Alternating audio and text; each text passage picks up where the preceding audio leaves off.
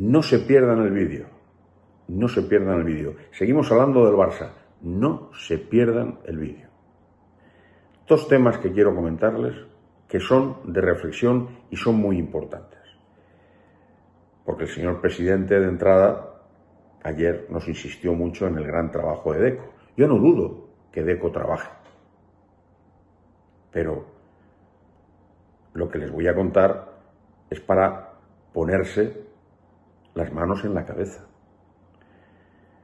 De esos 22 jugadores o 22 dorsales que ayer facilitaba el club, de los 22 profesionales que están a disposición de Hansi Flick en la primera plantilla, siete jugadores, Araujo, Gaby, Bernal, Frenkie de Jong, Christensen y Fermín, y Ansu Fati, unos dicen que sí que está, otros que no, está para jugar, son siete.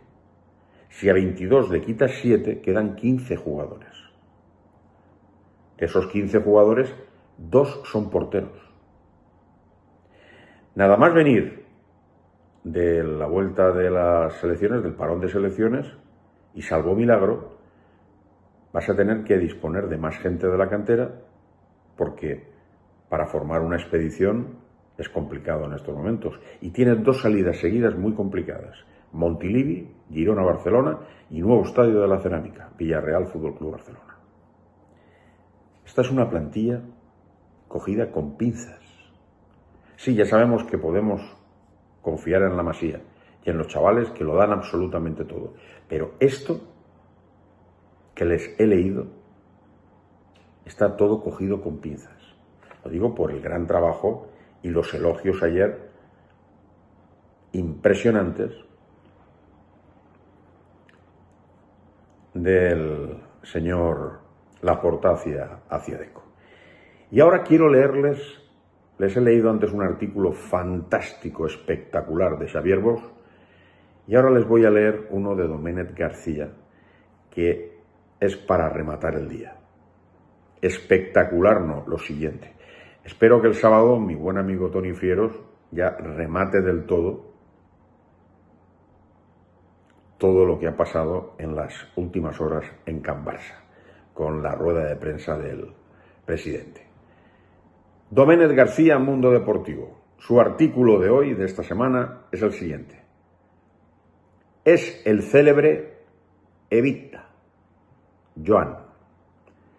De la rueda de prensa que Laporta ofreció ayer sobre la situación del Barça, uno saca a vuela pluma varias conclusiones.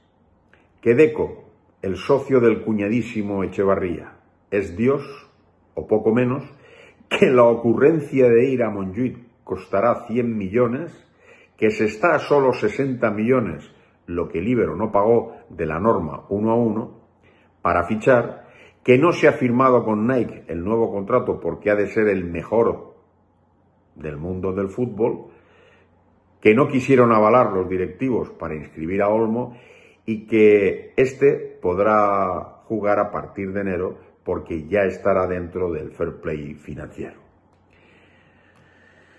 Nada o muy poco se habló de Negreira, al que Laporta triplicó sus emolumentos en 2005.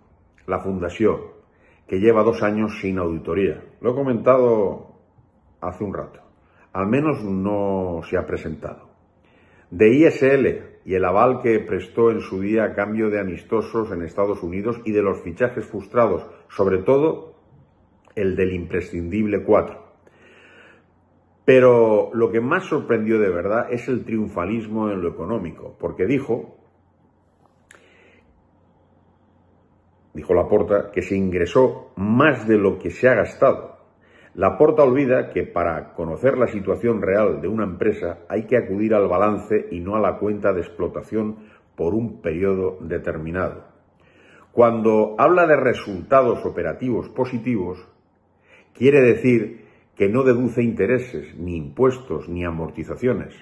Es el célebre EBITDA, que el año pasado cerró en 149 millones negativos y con una deuda neta de 552 según la auditoría. O sea, peor que hace tres años y medio sin contar la merma de patrimonio por venta de palancas. Esta vez a jugar por las penurias.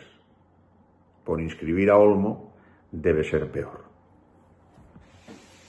Ojo, Doménez García la toca muy bien, tiene mucha experiencia y veteranía. Y lo que acaba de decir son verdades que hemos venido comentando en los últimos años, en los últimos meses, semanas y días. Es un artículo cortito, pero con muchos, con muchos puntos interesantes. Y también para que los que sabemos leer entre líneas nos demos cuenta de que en el fondo los que hemos estado siempre intentando contar las cosas como son, en el fondo no estamos tan solos. Un magnífico artículo, señor Domenet García. Chapó.